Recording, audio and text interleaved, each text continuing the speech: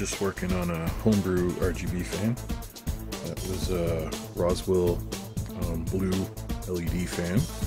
And I put some individual uh, NeoPixels around the outside edge.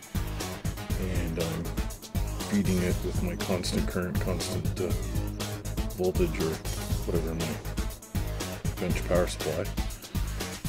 And just uh, finding voltages to get the RPMs so that there's neat effects with the LEDs.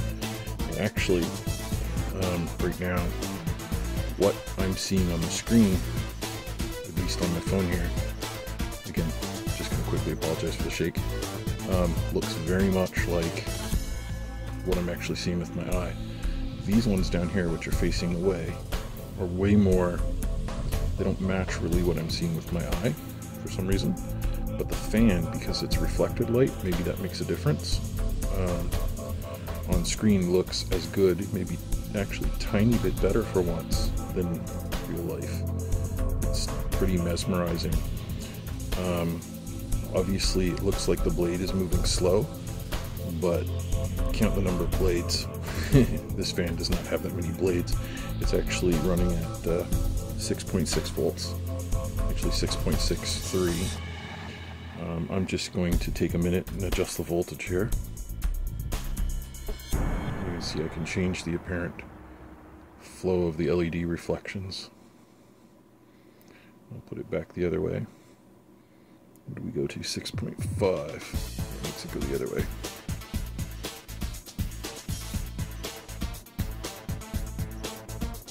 Let's see where it stabilizes here now never really seems to come back to the same stable tuning spot.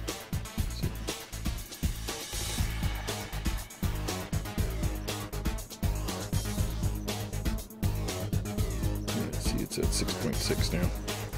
Anyhow, um, the fan can run, it's running some custom software. Um, I'll just show you, well, it's going to get washed out. Um, it's an Arduino running some WS2812s. There's a, a, stick of them right here that are going to go in different places in my case, which is the currently blue glowy thing over there. And this fan is going to replace the other fans in the, in the front. Um, the problem I had with some of these fans is some of the LEDs die on them. So I pulled all the normal LEDs out and then just added some uh, NeoPixels around. But my software that I made for controlling this, I can control the speed of the color change.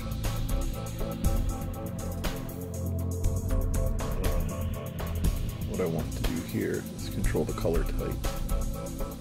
So let's see, let's try.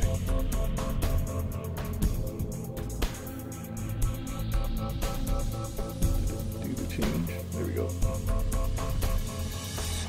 So that's a red and blue alternation. I think it looks a little bit orange on the camera. Try purple and green. Yep, pretty crazy. And uh, uh, rainbow colors pulsed. Hmm. Let's try linear, looks better. Rainbow colors linear looks way better. And then when we were looking at uh, totally random linear, interesting. Cloud colors. I'm using the uh, Fast LED library for Arduino. So that goes through all cloud kind of colors, mostly blue and white, but the whites have a little bit of purple tint on them on this camera right now for some reason. I'm not sure why. Um, sorry for shaking in, guys.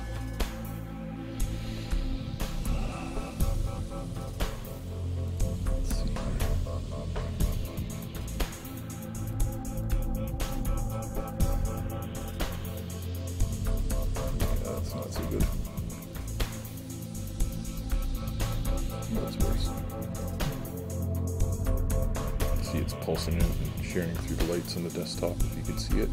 Um, I think we started out with party colors. So we'll just go back to party colors. Anyhow, uh, that's one of my projects. It's just uh, using some NeoPixel uh, 8 element bars putting them on some wire. I've actually made some custom wire. I sleeved um, my own cables for them using some black paracord. Um, the fan is just using old IDE wire to get them onto the fan and around the fan. There's just four. Um, I got. I'm gonna do one more fan. They're gonna go in the front of my case. Um, that'll leave me. I think I got two spare single NeoPixels left, and I might do something with those. I'm not sure. Um, and then I've got some eight pixel bars like this one here that are probably they're really bright. They're probably going to be used for general case lighting, and uh, then we'll have a look at that when I get a little further in. And then uh, we'll probably show uh, the software I'm using to drive this, and I'll, I'll upload it somewhere. It's um, using processing and the fast LED library and a few other things. Um, what's that called? The uh, G4P uh, GUI library. Anyhow, um, it's a small update, although it's probably gone longer than I intended. I'm probably going to throw some video at the end of this um, with just shots of the fans running. And uh, anyhow, uh, if you want to watch those, uh, stay tuned to the end. I'll just let them play after this. But uh, anyways, if you like this kind of thing, forget to like and subscribe if you'd like to see more of this kind of stuff. And as always, thanks for watching. And uh, I'll let the uh, just the video play after this. All right.